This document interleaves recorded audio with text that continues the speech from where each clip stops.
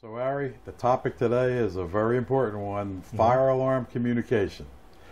Bosch has a solution for fire alarm communications, whether it's for Bosch panels or all other fire alarm brands. Mm-hmm. We have a B465 universal dialer with accessories. And before we get into accessories, mm-hmm. the issue is POTS lines, plain old telephone service Sure. Kind of difficult these days, um, especially when you need two paths of communication for a fire alarm.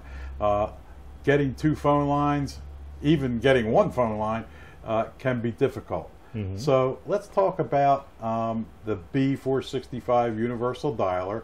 Like I said, for Bosch panels and any brand of fire alarm panel, because um, you don't need to change out your entire fire alarm system uh, to communicate.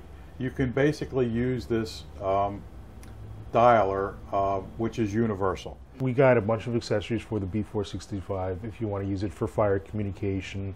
Um, and this is a great way to migrate from POTS over to uh, digital communication to uh, IP communication and cellular communication without having to swap your entire panel.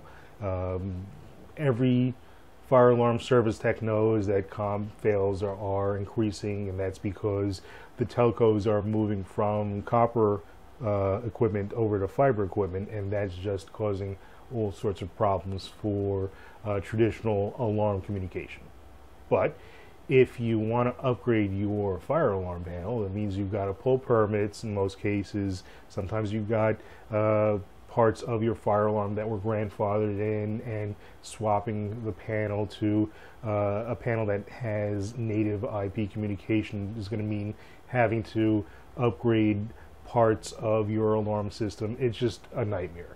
Adding a universal dialer is a good way of getting a couple more years out of your existing fire alarm panel. If your fire alarm panel works just fine but only has the ability of communicating out on POTS, then this is uh, a creative solution to a very real problem.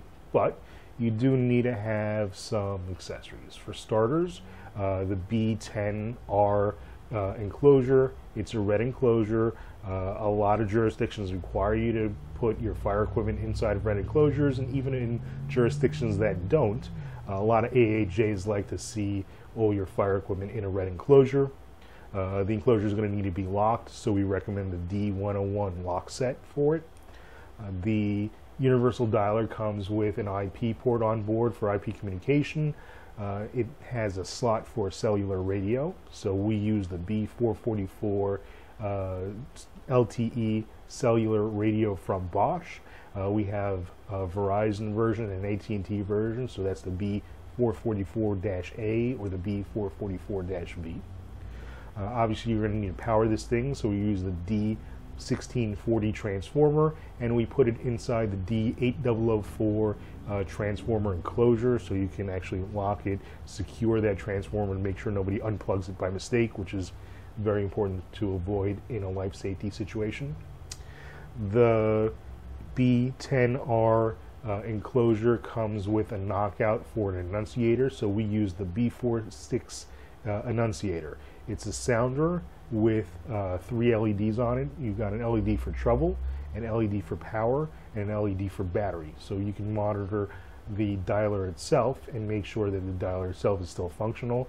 Um, most jurisdictions will require that, and every single AHJ that I've ever run into would want that as a preference.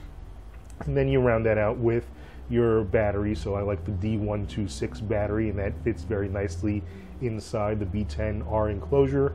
And of course, you want to ground this thing, so you, you you'd use the D167 uh, ground clamp. So you just uh, clamp it to a cold water pipe, and you get yourself some safety and some insurance that way.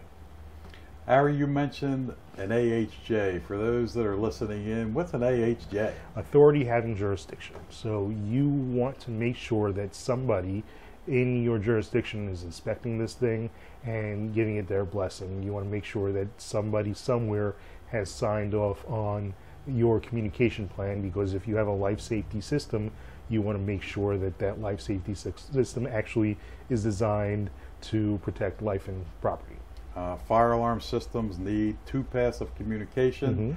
Um, this unit comes with an Ethernet connection Mhm. and a cellular radio connection, so we cover both paths of communication that way.